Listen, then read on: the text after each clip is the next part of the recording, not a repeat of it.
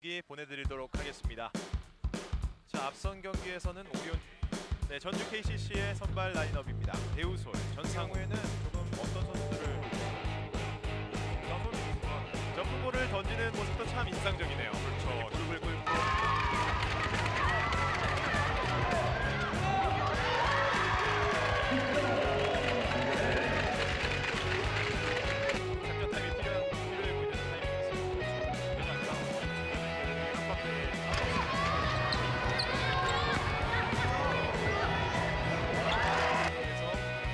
다시 한번 연속 득점에 성공하는 김민규입니다.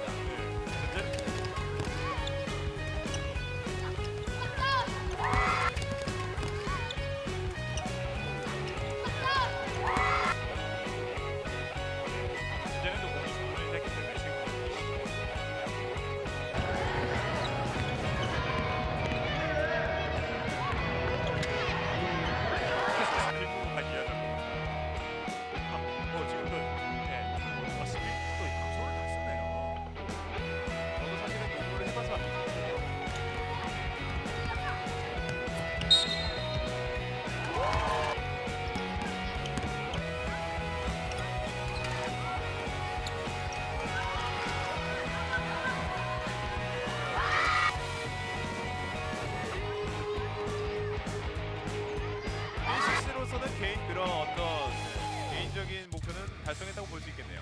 아, 그렇죠. 이제 이거 이렇게 전자랜드와 KCC, KCC와 전자랜드의 경기 24대 6으로 전자랜드가 승리를 가져갑니다.